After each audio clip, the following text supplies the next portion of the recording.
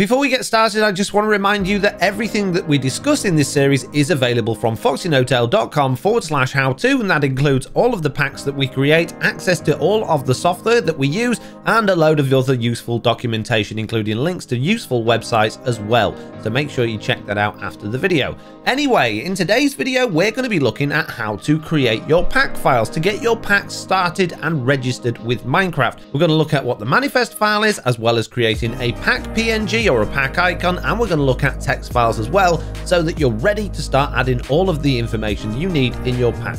So in the last video we looked at how to actually get started with all of this in terms of the software you would need and importing your files into a workspace so that you're ready to go and that's where we're at today. So we're using Visual Studio Code again and you can see up here to my left hand side I've got a 2 underscore pack underscore B folder and a 2 underscore pack underscore R folder. Now those two folders correspond to actual folders inside of my Minecraft game. The behavior pack one being underscore B, which is in my development underscore behavior packs folder, and the pack underscore R being in my development underscore resource packs folder. Now the two at the beginning is just the episode number that we're on so that I've got everything in a nice order and I know what I'm doing.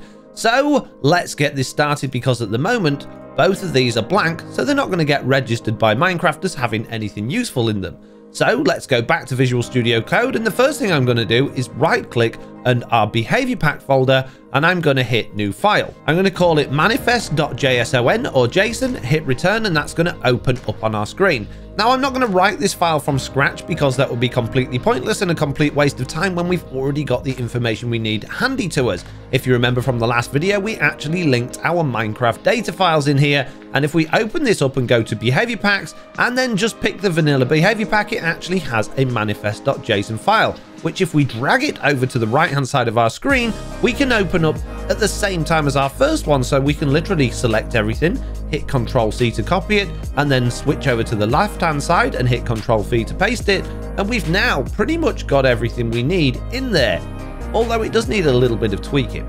Now, if you don't have access to these data files, then you can do that from any other behavior pack or resource pack. Just open it up, copy and paste the information and just change what you need to. And the main things we need to change are the UUIDs. Now, the UUID is a unique identifier that Minecraft uses to identify that your pack is different from another pack. It doesn't use the pack name or the description because you might have two packs with the same name. The UUID should always be different, and because it's such a long and random random string generated from different numbers and letters, chances are you're never going to find two the same. And the way that we can update this or change it is by using our extensions.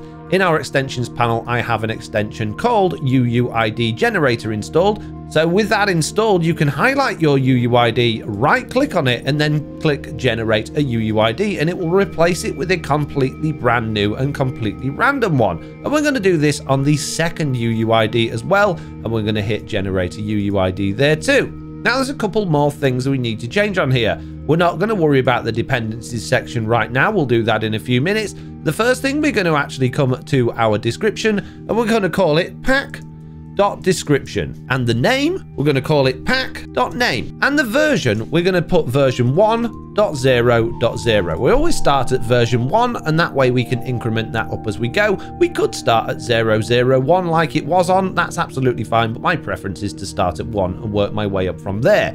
Now, the min engine version is actually telling the game what is the minimum version of Minecraft that this pack can run on. It's currently set to 1.13, but we're actually in Minecraft version 1.16.220 and I don't know if the pack that we're creating is going to be compatible with previous versions so I'm going to call the minimum engine version 1.16.220 and that way no one will be able to open this pack up in a previous version and risk having compatibility issues. Now for the next section, modules, I'm going to copy and paste this description. In fact, to be honest with you, we don't actually have to have that description line in there at all. We can get rid of it, which just means we don't have to worry about it later on. We've already updated the UUID and we're going to change the version number so that it matches our one up here. So we've got version 1 there and version 1 there. We're also going to go into our dependencies section and change the version there, but we're not going to change the UUID just yet.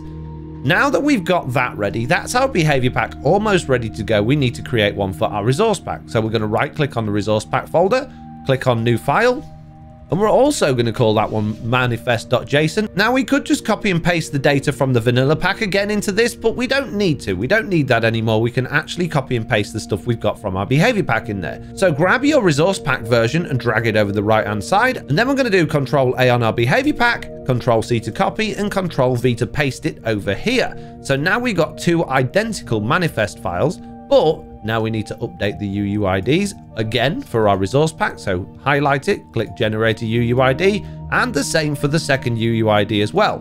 The other really critical thing you need to change here is the type. It no longer wants to be data, it wants to be resources. With an S, it's plural. Resources, not resource. That tells the game that this is a resource pack and not a behavior pack.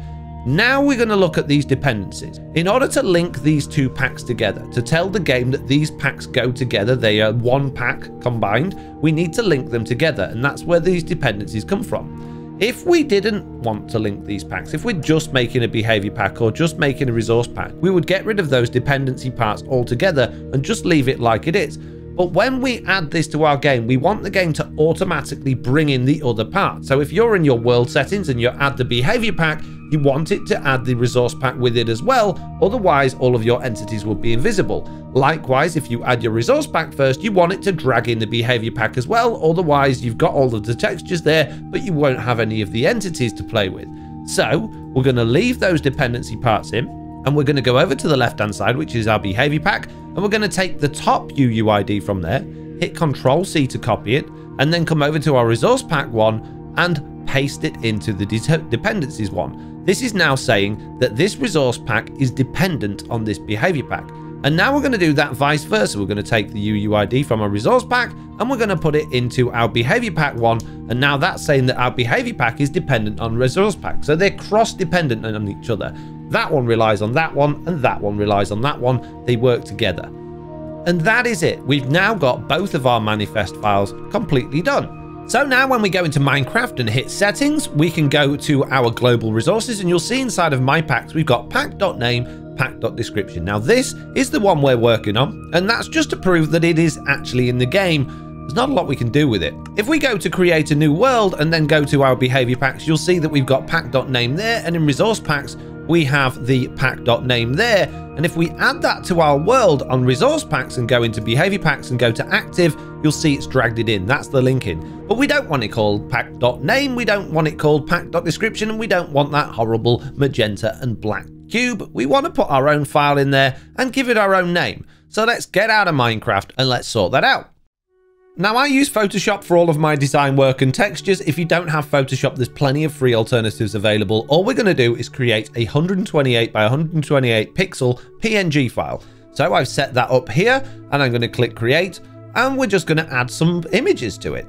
Now, because this pack isn't for anything in particular, all I'm going to do is stick in a bunch of shapes, make them different colors just to suggest that this is a graphic and nothing else, and leave it at that. So there we go. We've got a very Windows 3.1 looking pack icon there. What I'm going to do is go to File, Save As. I'm going to locate the behavior pack folder that we're working in. I'm going to call it pack underscore icon. And then I'm going to select the PNG from the save as type and click save and I'm just going to choose smallest file size. It really doesn't matter which one you pick from there because it's a tiny file anyway.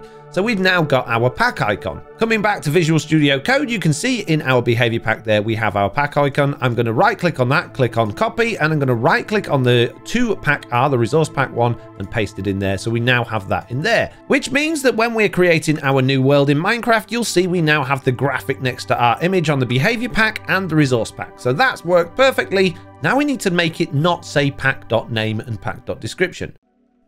Now, there's a couple of ways we could do that. We could do that directly in the manifest files itself. We could change the description to actually have a description, and we could change the pack name to actually have a pack name. And that's a real quick and easy way to do it, and the way I've done it for a very long time. But more recently, I've been doing it the proper way, and I'll show you how to do that. In our behavior pack, we're going to create a new folder, and we're going to call it texts. So on our text files, we're going to right click and do new file and we're going to call it languages.json and we're going to open that up. And then we're going to start with some square brackets and we're going to hit return and we're going to put en underscore us. And what that's done is that's now told the game that we have a language file called ENUS or the US English language file. And we could add more in there. We could add as many different language files as we want. We could do EN underscore GB and have a British language file. We could have ones for every country in the world. If we go to the Minecraft vanilla resource pack and look at their language file, you can see that they've got all sorts of different language files but we're only going to concentrate on one because we only want to create one language file. So let's close that, get rid of ENGB, and we're just going to leave ENUS because the majority of my viewers are from the States, so that makes sense to me to do that. So I'm going to save that.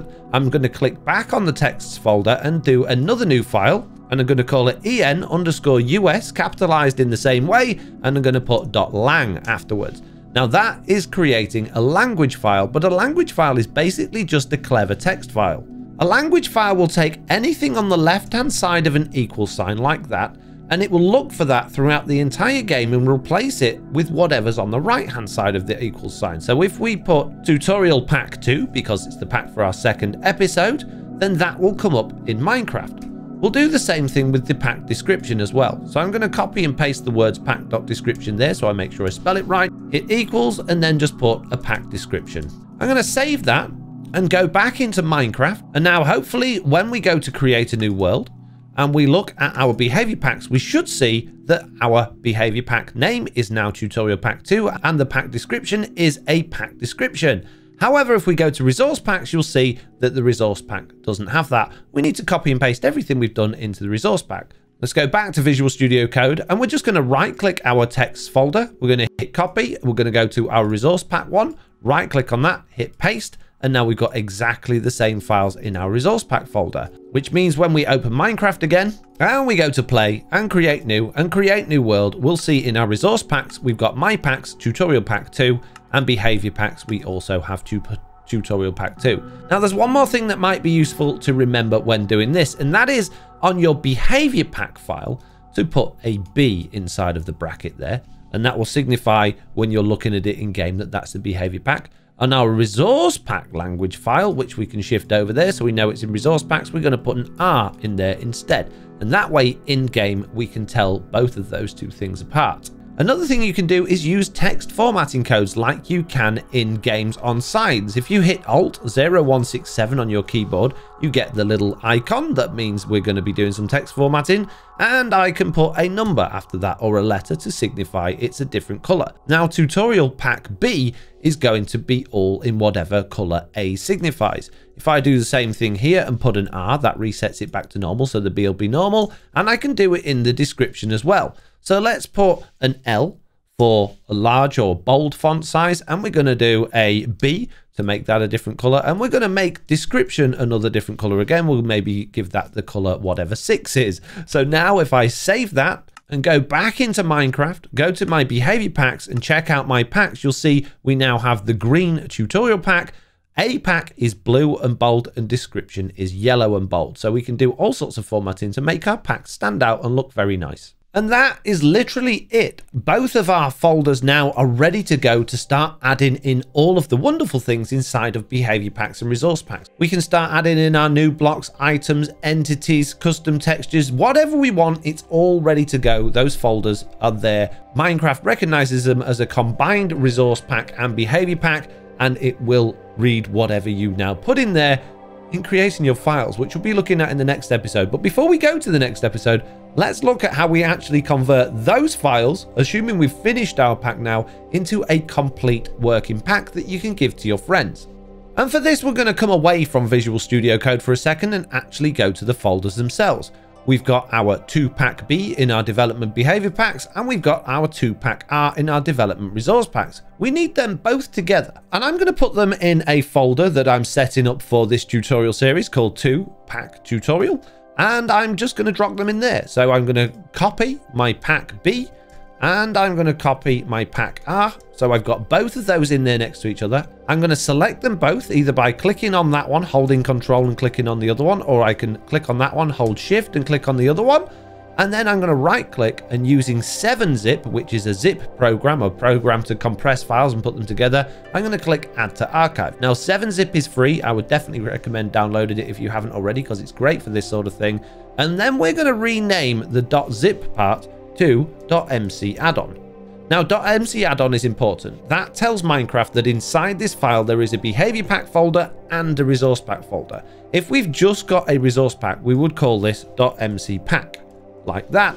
But because we're adding a behavior pack as well, we're using .mc add-on. So I'm going to compress it as heavily as it can be, just to make sure that it is as small as file size as possible, which means sharing it with people is a little bit easier. I'm going to click OK, and that is going to create a tutorial add-on. Now, if I double click that and try and install that in Minecraft, it will fail, but that's because the files already exist in our development folders. So it's going to do import started, and you'll see it will fail. Fail to import because it's got a duplicate pack because they already exist. But I will prove to you quickly that this does work by removing those original packs. So I'm going to close Minecraft again.